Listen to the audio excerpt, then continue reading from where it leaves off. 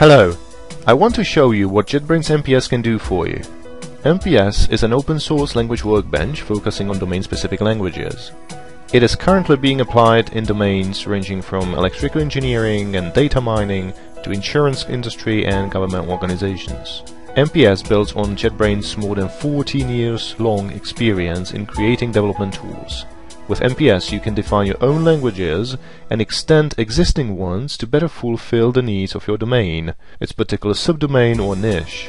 These custom and customized languages will benefit from intelligent IDE assistance such as code completion, type system checks, data flow and static code analysis, debugging, testability and many others.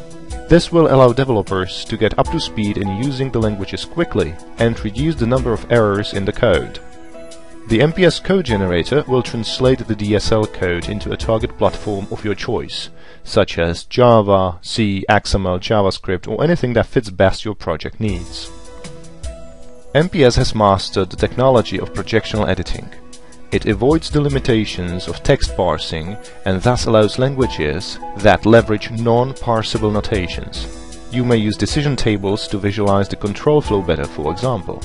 Form-like notations give guidance to inexperienced programmers and limit their errors.